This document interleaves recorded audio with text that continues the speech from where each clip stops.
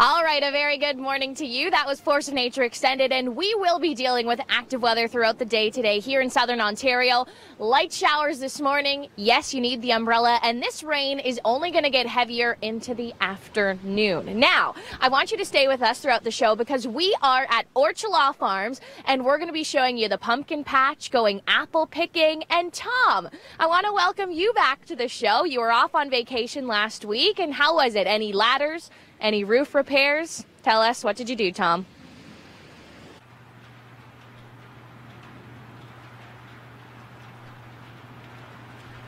All right, thanks so much for joining our morning show this morning. I know it's dull, it's cool. If you're dressing the kids to head out to school, dress for fall. The scarf, the jacket, you'll need it all. Umbrella, rain boots as well, because this rain that we're seeing right now, it's only getting heavier as we travel in towards the afternoon. But we've traveled here to Brampton and we're at the Orchelaw Farms, joined by Heather Laidlaw now. And Heather, what's this farm all about? Give us the lowdown this morning. It's Orchelaw Farms. Our, our family has run this farm for almost seven generations. Um, our grandkids are that seventh generation, and they're coming up and, and helping us out. Um, we've actually uh, we've got apples and pumpkins. Um, we've just opened the pumpkin patch last weekend, so it's been a fun time. All right, and great apples here. I have been apple picking here. The Mutsu, my favorite. I was telling Heather I made an apple crisp the size of a lasagna, and you only needed about four to five apples because they are huge. Now, stay with us throughout the show because we'll be answering all those questions. When you have 100 apples after apple picking, what do you do with them all? And we're also going to be carving some pumpkins and taking a look at the pumpkin patch. So stay with us, and I'll send it inside now. Good morning, Tom and Emily. Hi, thanks, Rachel. That looks like mm. so much fun. All right, lots of active weather there in Force of Nature, and we are bracing for the active weather here today in the GTA. I know some of you already seeing the sprinkles of rain and cool temperatures. Dress for fall. It is seven degrees in Toronto, five in Barrie, seven in Hamilton. So, yes, the chilly trend. It continues. But I want to introduce you to Orchelaw Farms here on Heritage Road in Brampton and joined by Heather. And Heather, this is the question everybody wants to know. You go apple picking, it's a ton of fun, but you have 100 apples when you get home. And what do you do with them all? Make some apple crisp, do some baking, get some soup made. You know, we've got some pumpkins, uh, pumpkins to do, and some squash to make. You know, you can add apples to a lot of different things. It's it's fun. And you know what? I've tried the soup and the apples before, and that is someplace cool. You also need a little bit of water because apples dehydrate, so you need some water in your fridge. The best place is your fridge because it needs to be about 32, 33 degrees. All right. And what kind of apples do we have behind us here? Because they look delicious. We have Ida Reds. They're the longest storing apple we have. They're an awesome apple. This is what I store for the winter, and they actually go right straight through till about April. All right, awesome. And if you want to come down, pick up a bag of apples here at Orchelaw, Ida Reds will still be lasting throughout next weekend. All right, coming up, we'll be taking a look at pumpkins and all of their wonderful pumpkin decorating ideas. Hopefully, we'll be getting into that shortly. Okay, it's a chilly start to the morning across the GTA. Temperatures, yes, we are below seasonal to about seasonal. Right now, seven degrees in Toronto, only four in Oshawa, seven in Hamilton, five in Barrie. So, yes, temperatures are chilly. As you're dressing the kids to head out to school today, you will need to dress for fall. The scarf, the jacket, you'll probably need them, and rain. Emily will have more on that. Rain will become stronger throughout the But let's talk about something exciting. We are here at Orchelaw Farms in Brampton, Heritage Road, joined by Heather. And Heather, you said that your crop has done the best ever this year. We've had the largest crop we've ever had in our in our entire lives. Um, huge crop, great season for them, great weather this summer for them. They absolutely loved it and delicious, I can tell you that. But Heather, you know what? I was here on Thanksgiving Monday picking some apples, and I noticed a lot of apples on the ground. What do you guys do with all the waste? We actually pull the apples away from underneath the tree and then we mulch them with a mower and they go back into the soil for nitrogen. All right, so everything reused here, everything local. They only sell what they grow. And Tom?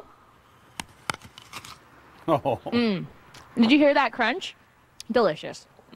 I, heard that crunch. I had an apple on the way in today. As a matter of fact, they are spectacular this time of the year. Let's go and have a look All right. Well, happy Monday to you, October the 20th. Active weather in store today, yes, for the Greater Toronto Area. And I'm sure for some of you, you're already hearing the pitter patter on your roof of the rain. That's exactly what we're hearing right now at Orchelaw Farms. A chilly start to the morning, about 7 degrees, but let me brighten up your day. Introducing you to Heather and Larry. And Larry, apple season, it's come to an end, but pumpkin season, that's happening right now. Tell us a little bit about your patch. Well, our patch is uh, just around the corner from our building here, and people go out and they uh, try to pick the biggest, and nicest, prettiest pumpkin. And the more they look, the more they, confu- they confused they get. Uh, it's kind of like looking for a car. Every time you go and look at a, a, a different car, you always try to upgrade.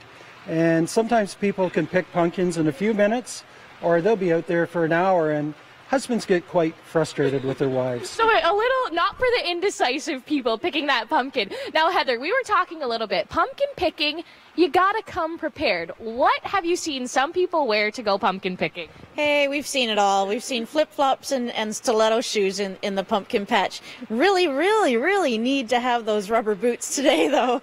Absolutely, especially after a rain like this. So if you're heading down this week to Orchelaw's to pick a pumpkin, rain boots, that's exactly what you will be needing. Okay, Tom, I'll send it back inside to you for a look at traffic.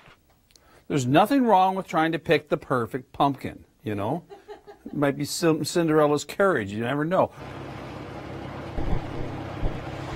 Well, you think we could have planned this a little bit better, right? Yeah, we're going apple picking and going to the pumpkin patch in these very cool temperatures across the GTA, single digits right now. It's cold. I can almost see my breath as I'm talking. And yes, rain as well. Why not, right, Heather? so we are in the wagon ride now, and this is something that everyone can do coming to Orchelaw Farms. We actually take the wagon out for uh, all our customers, go out to the apple orchard or out to the pumpkin patch. All right. And for this time of year, apple picking is pretty much done. You were mentioning that you guys have collected most of the apples now? Yeah, we're down to just one variety, and we'll pick the rest of those this week, and then they'll just be available in the market on the weekend. All right. And they have had a sellout kind of year, so it has been amazing for Orchelaw. And now we're into pumpkins. And pumpkins, I'm finding very trendy. You know, it's the pumpkin candle, the pumpkin soap, pumpkin pies. Have you guys done well with the pumpkin sales? We've actually increased our pumpkin sales probably a fair amount. It is trendy. Lots of lots of customers want pumpkins, pie pumpkins, different colored pumpkins. We've sold green ones and yellow ones and orange ones. And I mean, we all have still have the white ones too. All right. So you can come and pick your pumpkin here at Orchelaw Farms. Next time you see us, we will be joining you from a pumpkin patch and we're probably going to need the umbrella. All right, thanks so much, Rachel. Actually, Rachel Schoutsen is, is at a pumpkin patch in Brampton, uh, and such a lovely day to be out in a pumpkin patch. Rachel, what's going on? Yeah, we picked the perfect day to be out in a pumpkin patch. You can see our breath. It's so cold. My feet are sinking into the mud and it's raining. But you know what? Heather's brightening up the day. You're so lovely to be with. So let's take a little walk through the pumpkin patch. And you got to wear the right attire. And you were talking about the cross pollination of some weird looking pumpkins. Tell us about these guys here. Yeah, we got some yellow pumpkins this year. We got striped pumpkins. We're not sure what happened, but the bees had a really good time, so we ended up with some cross pollination going on. But you know what? Maybe it's the new variety. and if you want something extra scary, come down to Orchelaw's. You can get a striped pumpkin. And you were talking about the peduncle. What is the peduncle? The peduncle is the handle on your pumpkin, and you want a good strong one because you want to be able to take that top out when you go to carve it. Awesome. So- okay, so I'm going to pick up, I, I think this. Okay, so what do you think, Heather? The peduncle, is that a good one? awesome peduncle, nice and strong and nice and long for you. All right, Emily, do you see that? This is a good peduncle.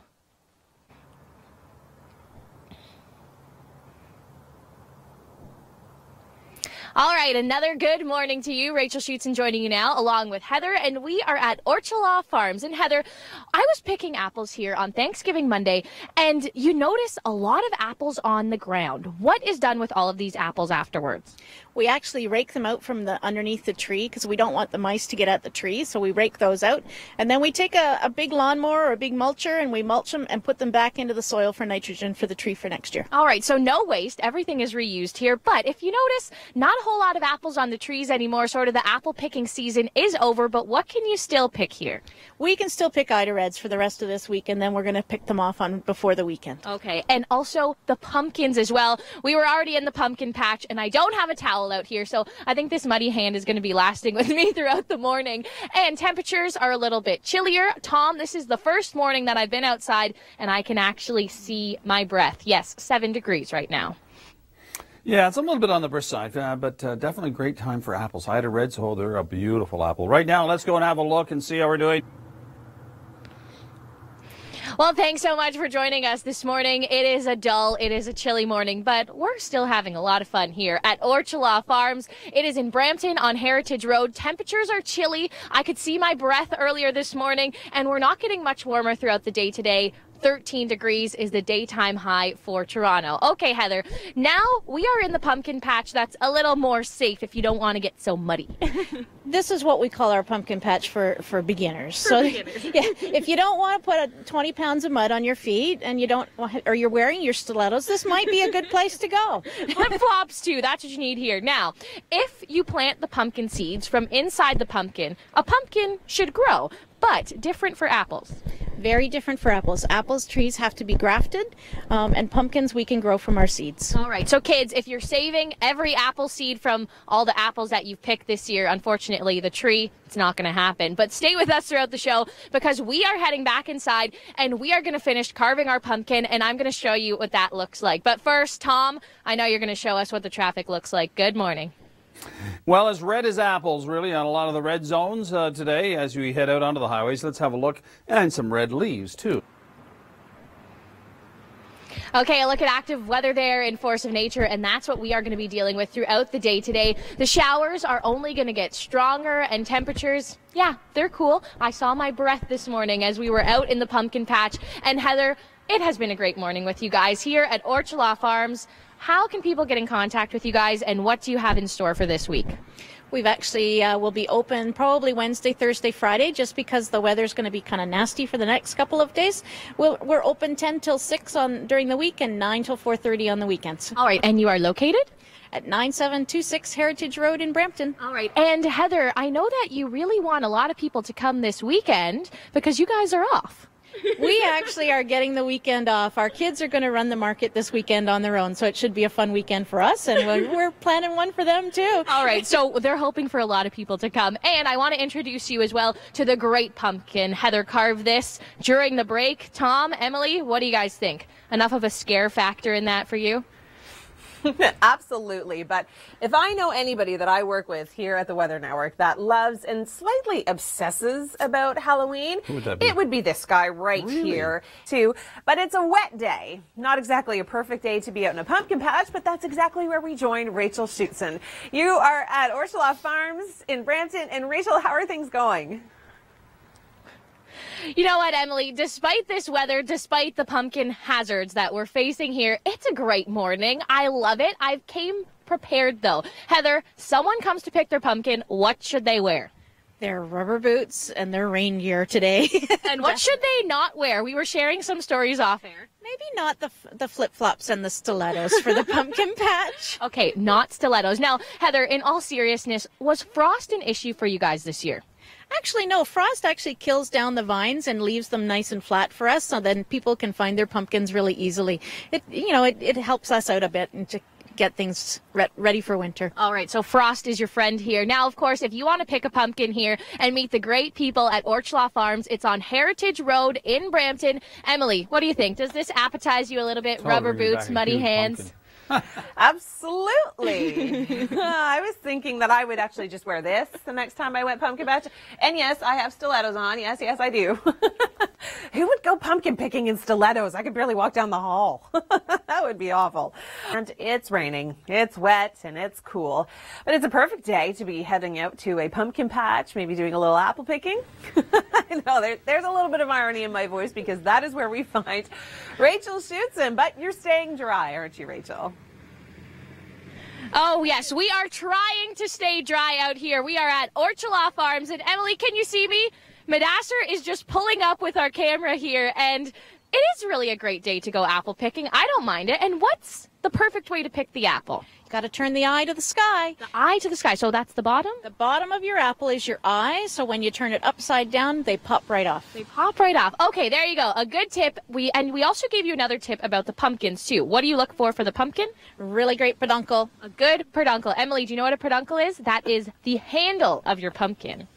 I've never actually used the term, but I'm going to see how many sentences I can incorporate into today because it's a fun word. An uncle. I like it. Thanks, Rachel. Well, even though it is a dull day here throughout the GTA, Heather, you are brightening up my day here. Oh, that's good. and we are in the pumpkin patch. And let's take a little walk here. So we're looking for the best pumpkin, and you guys have done some great pumpkin growing this year. We have. We've got lots and lots of pumpkins. We started with 4,000 seeds. We don't honestly know how many pumpkins we have, but there's lots. There's lots. And you got to dress properly to pick the proper pumpkin. And you got to look for the peduncle. The best peduncle you can find because you need a handle to take that top out. All right, so I'm thinking this one's probably a good one. What do you think about this one? Awesome peduncle. Awesome peduncle. And you can find the best peduncle here at Orchelaw Farms throughout the week. Thank you so much, Rachel. The one we got at our house is completely bent right over. So obviously I made a mistake there. Oh well. Let's take a look at our rainfall forecast. Well, we are in for quite a moist day here in the GTA. Maybe not the west best weather to uh, pick an apple or pick a pumpkin. Rain and on and off showers, yes, throughout the morning and now into the afternoon. The showers will be growing in strength. So if you're headed out today, you will need the umbrella and also bundle up because temperatures are going to be just about seasonal. Yes, the above seasonal warm trend that has now come to an end. Well, apple season, it has come to an end, and we are here at Orchelaw Farms helping them pick the last of their crop. You guys said it was a fabulous year. You grew a lot of apples, and I'm sure a lot of people picked a lot of apples, and now they're stuck with 100 apples. What do you do with all the apples? They'll store for a long time, but then you can also make all those nice apple crisps and the apple pies, and you know, there's all kinds of stuff you can make with apples. And put apples in your salad, apples in your soup, and you gave us some recommendations for storing. Yep, you have to put them into a fridge. They need to store nice and chill. Um, always have a little bit of water in the fridge because apples do dehydrate. All right, so they need their moisture, and unfortunately, we're going to be getting a lot of moisture throughout the day today. On and off showers, growing in strength into the evening. Today on the show, if you missed it, Gonzalo is no longer Newfoundland's problem. The UK is going to be feeling the effects of what's left of the storm. Rachel Schoutsen was a great sport this morning on a beautiful, cool, and rainy day. She went out to a farm and told us what you should and shouldn't wear in a pumpkin patch. Rubber boots and their rain gear today. and what should they not wear? Flip flops and the stilettos for the pumpkin patch. We also spoke to meteorologist Dr. Doug Gillham about good news and bad news in the long range forecast. Into the end of the week and into the weekend, this mild air starts to spread into southern Ontario. Make sure you join us again tomorrow morning, 5:30 to 9.